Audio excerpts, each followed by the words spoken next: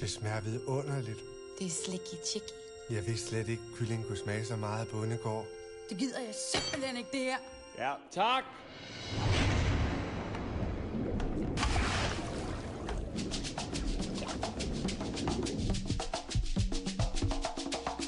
Sådan en syvende rangs skuespiller. Hvorfor i alverden har du anbefalet hende? Kan ingenting.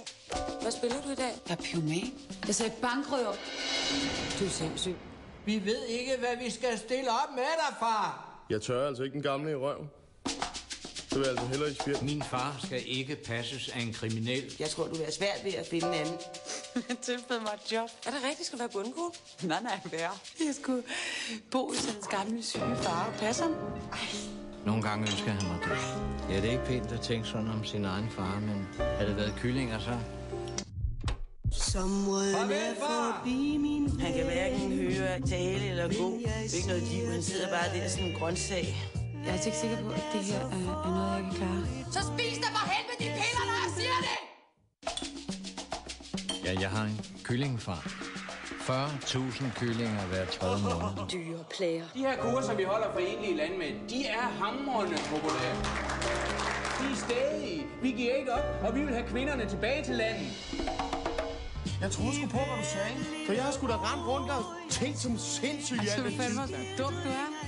Ja, det er jeg da fuldstændig enig med dig i. Du skal kalde Valentin for et uhyre. Han er en gammel syg mand. Stille. Han kan tale. Anna, hvorfor kommer du rendende her midt i en prøve for at fortælle mig, at en gammel senil idiot har sagt stille? Er der ikke noget helt galt? Hvad fejler han egentlig? Nu går du hjem og passer dit. Om, der er nogen, der sagde noget. Men det er ikke rigtig pas, vel? Der er ikke andre end mig her, der kan sige noget, vel?